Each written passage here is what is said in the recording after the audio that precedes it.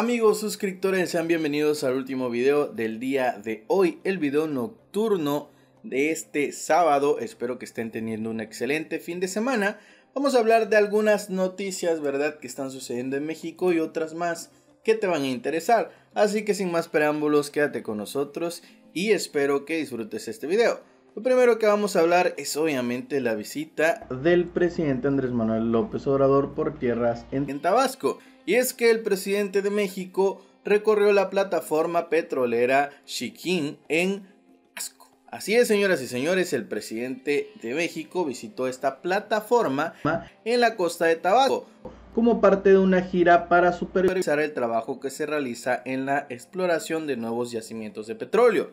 Misma noticia que el día de ayer platicábamos, que Pemex había anunciado, ¿verdad? Que hay nuevos yacimientos de petróleo encontrados, lo cual me parece muy interesante debido a que la empresa conocida como Pemex ha estado pasando por ciertas situaciones, amigos, que han complicado, ¿verdad?, la estadía de esta empresa dentro de México. Sabemos que México es principalmente un país petrolero que depende pues de este negocio o en su mayoría, no depende su totalidad porque hay otras cosas, ¿verdad? Como las remesas de migrantes en Estados Unidos, el negocio del turismo y demás. Pero bueno, sí dependemos en gran parte a este negocio que es el petróleo. Por lo cual el presidente de México, entre todas las promesas que ha hecho, realmente muchas de las promesas no se han cumplido y otras que da por cumplidas están a la mitad, no es que están ya cumplidas, pero bueno,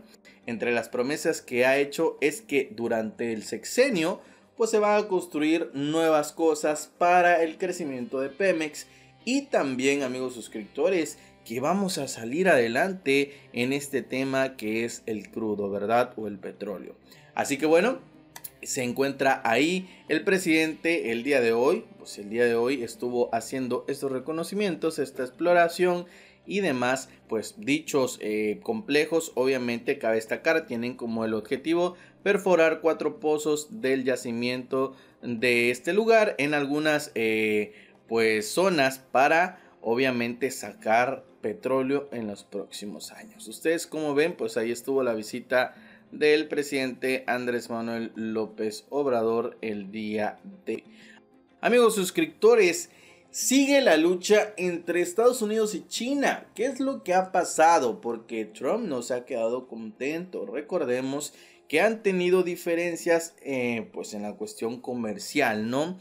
Y la imposición de aranceles que desde pues a inicios de año se ha dado por parte de Estados Unidos a China. Ahora en una nueva técnica o un nuevo paso, ¿verdad?, en contra de China, pues el presidente de los Estados Unidos pidió al Banco Mundial que deje de prestar dinero al país chino. El presidente de los Estados Unidos increpó en la noche del día de ayer viernes a través de su cuenta de Twitter al Banco Mundial, reprochando a la institución financiera internacional sus préstamos de dinero a China los préstamos del Banco Mundial a China se han reducido drásticamente y continuarán reduciendo, según lo acordado con todos nuestros accionistas, e incluyó Estados Unidos, dijo el Banco Mundial en un comunicado en respuesta al tweet de Trump. Así que, pues bueno, me pareció un tema muy importante. Trump de repente critica diciendo, oigan, dejen de prestarle dinero el Banco Mundial pues responde en un comunicado que van a ir reduciendo el préstamo haciéndole caso a Estados Unidos porque por ahí pues tienen convenios, ¿no? Tienen tratos y demás. Por lo cual pues solamente se los presento como un paso más táctico de parte del gobierno de los Estados Unidos en contra de China. Así es, en esta guerra comercial que todos creíamos que ya había terminado porque se había anunciado acuerdos y reuniones entre los dos países pero al parecer no va a ser así. Hablemos de la aplicación que todos conocemos, WhatsApp. Esta aplicación de mensajería que es gratuita obviamente, bueno, es eh, solamente se paga como 99 centavos al año, no lo cual pues prácticamente lo vuelve gratuita, pero pues a diferencia de otras de mensajería como son los textos normales, esta te permite pues enviar mensajes, fotografías, audios y demás. ¿Quién no conoce WhatsApp? Bueno, en este video de qué vamos a hablar, ¿por qué estamos hablando de esto? Pues bueno, la compañía que fue comprada por Facebook, ustedes ya lo saben, comenzará a cerrar cuentas.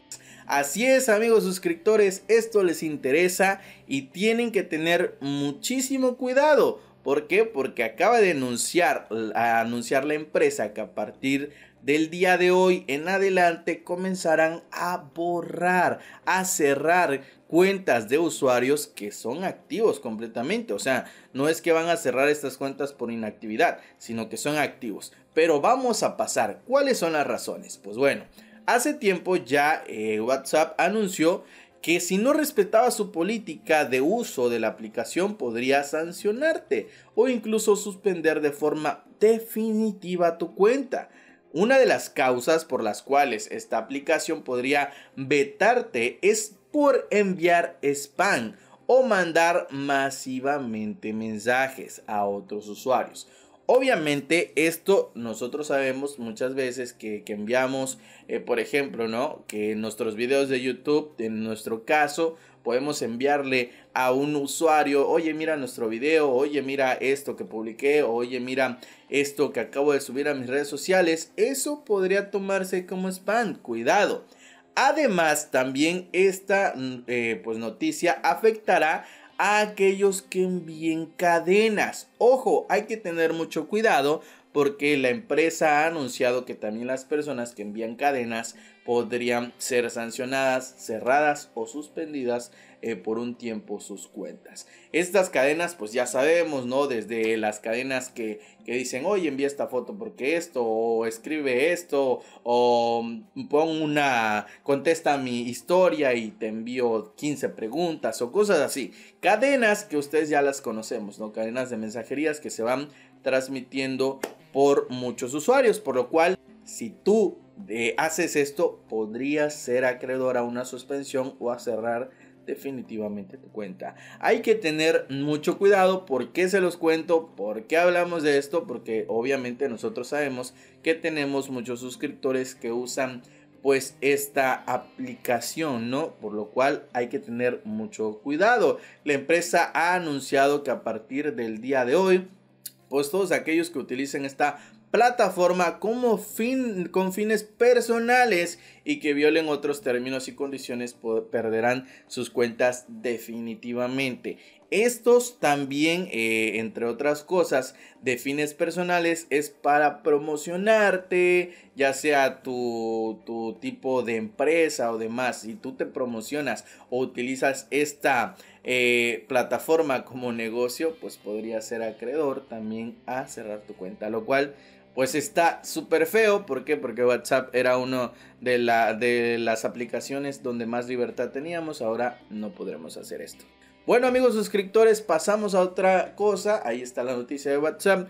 Y es que a través de Twitter hay una polémica, una tendencia. ¿Esto por qué? Pues ahorita lo vamos a ver además de todas las tendencias que hay el día de hoy en, Twitter, que ya sabemos lo que pasó en Palacio Nacional, que, eh, o alrededor de Palacio Nacional, que se habla, yo ya di la noticia, pero se habla de que era un militar retirado, la persona que llegó alcoholizada y que además pues empezó a balasear y pues hirió a varias personas. Bueno, se habla hasta de cuatro muertos, ¿no? Eh, ya subió la cifra en el último tiempo de que grabamos el video hasta acá.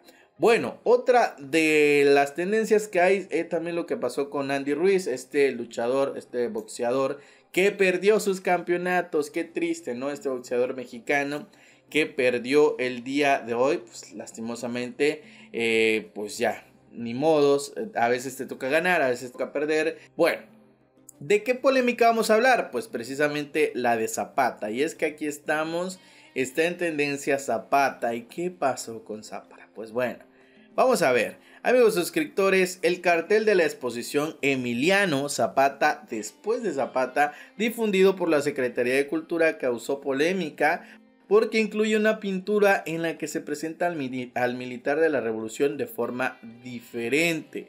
En la pintura La Revolución eh, pues es representado desde otra perspectiva Emiliano Zapata, ¿verdad? y te voy a estar poniendo pues eh, aquí eh, en estos momentos un poco de la pintura. Obviamente pues nos estamos arriesgando a que youtube de alguna u otra manera nos vaya a desmonetizar o borrar este video por esta imagen.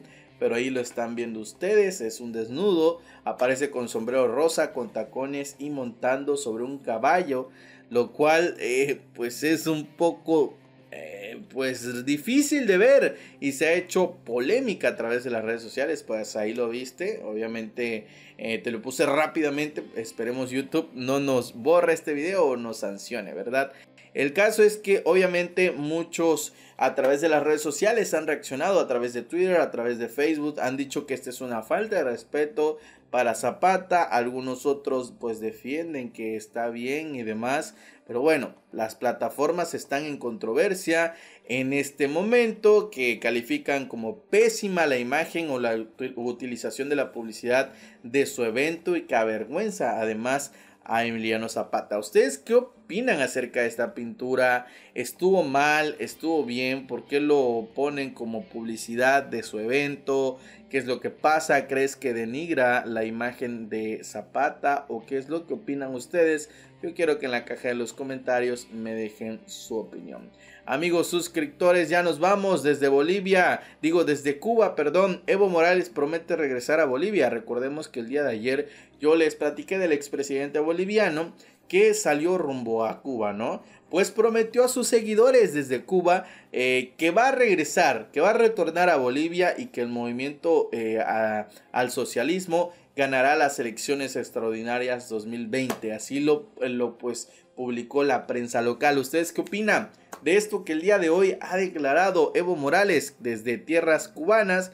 Que ha dicho va a regresar a Bolivia y va a ganar las elecciones. Nos vamos amigos suscriptores, solamente decirles, analistas ajustan de nuevo eh, la perspectiva de crecimiento para México en 0.0%, así lo anunció Citibanamex, que Obviamente pues ya estamos a punto amigos suscriptores de terminar el año, prácticamente lo terminamos y especialistas consultados por Citibanamex volvieron a reducir la estimación de crecimiento de la economía mexicana para el 2020 al pasar del 1.1 al 1.0 y han dicho que este 2019 el crecimiento, ¿verdad? del Producto Interno Bruto terminará en 0.0%. ¿Ustedes creen estas estimaciones? Eh, ¿Opinan que son correctas? ¿Opinan que son incorrectas? Obviamente esta es una perspectiva.